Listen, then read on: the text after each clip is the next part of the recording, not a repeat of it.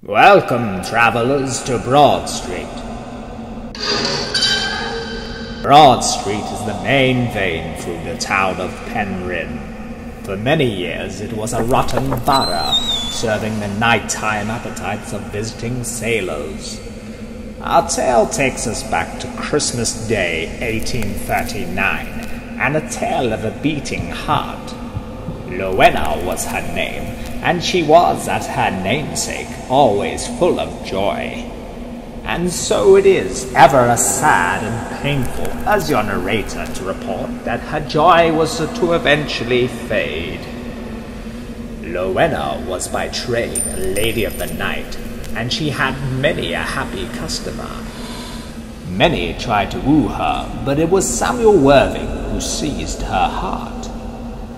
A sea captain forever called away to sea, he promised on his return that he would marry her. Years went by, and with every visit she asked, Is it to be our time to wed? Rowena's dream of a wedding day parade, complete with the finest horses to pull the wedding carriage, seemed forever fleeting.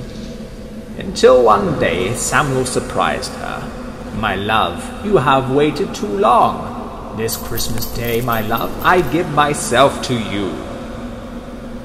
Overjoyed, she prepared for her big day, fully dressed in the finest wedding dress that money could buy from her countless savings she made over the years. And so Christmas morning came. She waited on this corner for the carriage to arrive. She waited and began to shake. The carriage arrived but her husband to be was not alone. The drunkards laughed and heckled from the doors of the inn. The humiliation and despair turned to rage.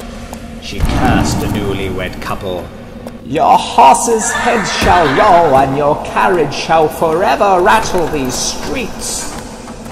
They say, whoever bears witness to the procession of headless horses pulling carriage upon a Christmas day are whisked away forever damned. So take care on Christmas Day. Take heed not to take a peek. Better still, don't walk down there.